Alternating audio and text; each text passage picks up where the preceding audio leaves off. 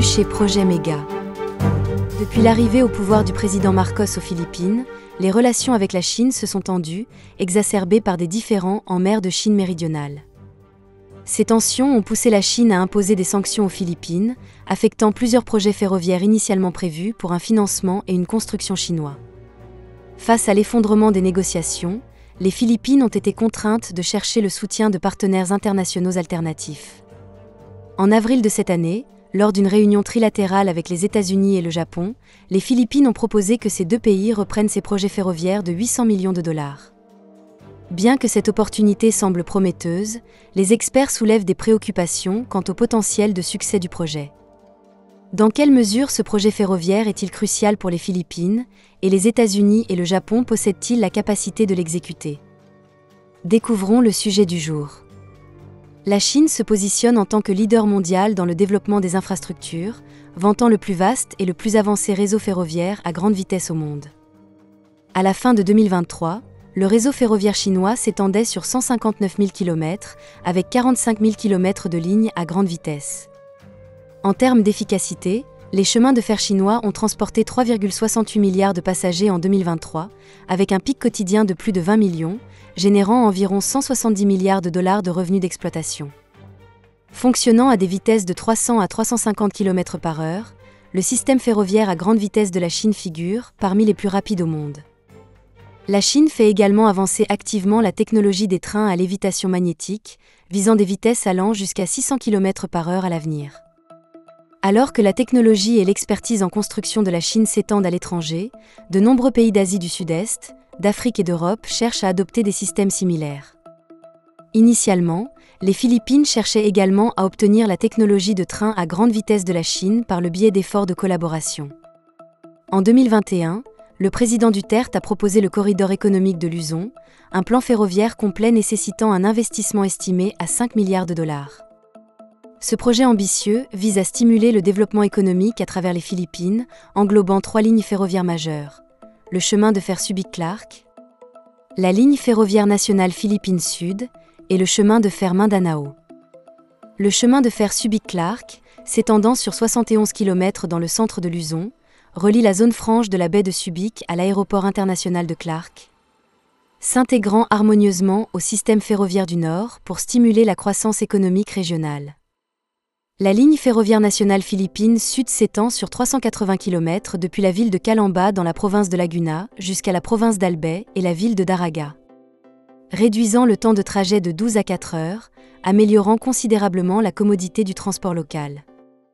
Le chemin de fer Mindanao, couvrant 1532 km, relie des zones clés comme la province de Davao et la ville de General Santos, avec un segment initial de 102 km de Tagum à Digo à Davao.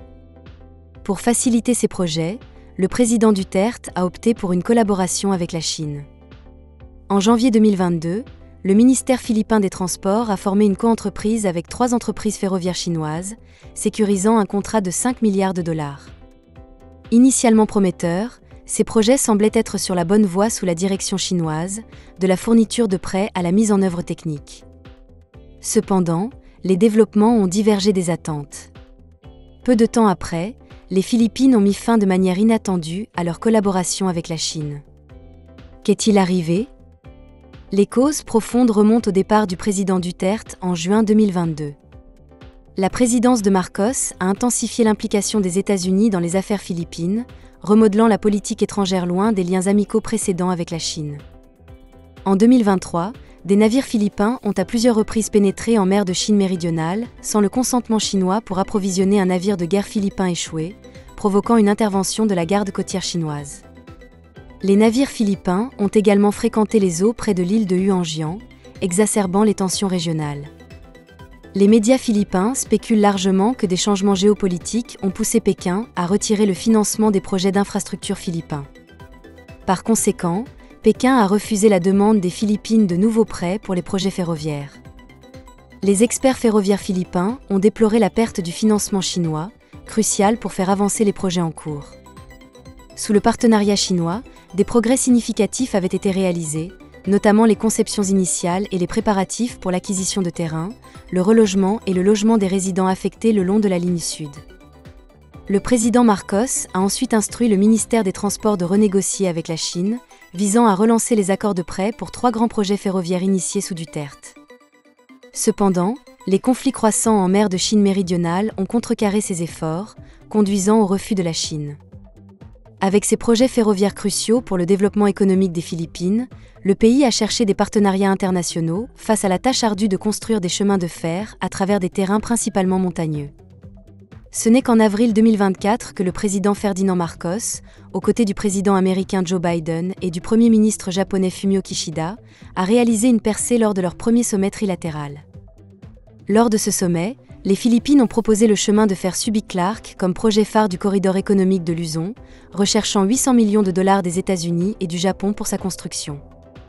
Par la suite, le 20 mai, les trois nations ont officiellement créé le comité directeur du e-corridor économique de Luzon et pour accélérer la coordination des investissements dans des projets d'infrastructures critiques aux Philippines, y compris la modernisation des chemins de fer et des ports.